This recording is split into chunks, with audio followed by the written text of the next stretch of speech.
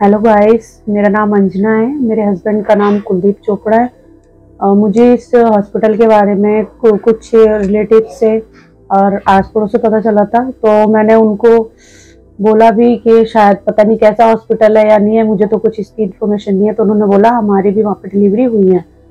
इस इसके बाद हमने थोड़ा सर्च भी किया कि ठीक है या नहीं है हॉस्पिटल तो उन्होंने भी बताया जैसे कि हाँ वो नॉर्मल भी ट्राई भी करते हैं। मेरा सी सेक्शन था फ़र्स्ट में सेकंड थोड़ा डाउट था कि पता नहीं होगा या सी सेक्शन ही करेंगे बट उन्होंने मुझे पूरा टाइम दिया। मेरे टाइम के बाद ही बल्कि मेरा ऑपरेशन किया है, उसके बाद तो मुझे काफ़ी अच्छा लगा कि चलो उन्होंने हमें सपोर्ट भी किया और उन्होंने कोई लापरवाही भी नहीं करी। तो बंसल हेल्थ जो हॉस्पिटल है, वो बहुत अच्छा है। जैसे उन लोगों ने बताया था, मुझे उसके अकॉर्डिंग अच्छा लगा यहाँ पे। और बेबी का सेलिब्रेशन का भी करते हैं यहाँ पे अरेंजमेंट उसके हिसाब से भी अच्छा है।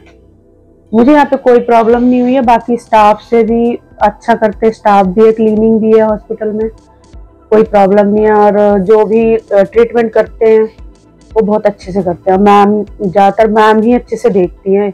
ये नहीं वो स्टाफ के ऊपर छोड़ दें या खुद ना करें, ऐसा भी कुछ नहीं होता।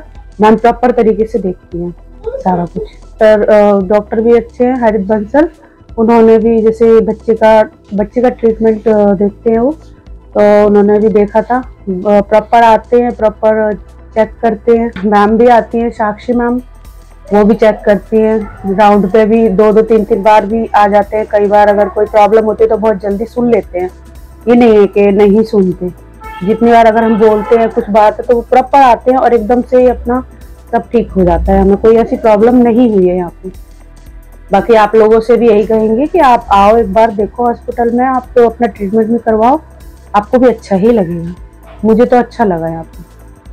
Thank you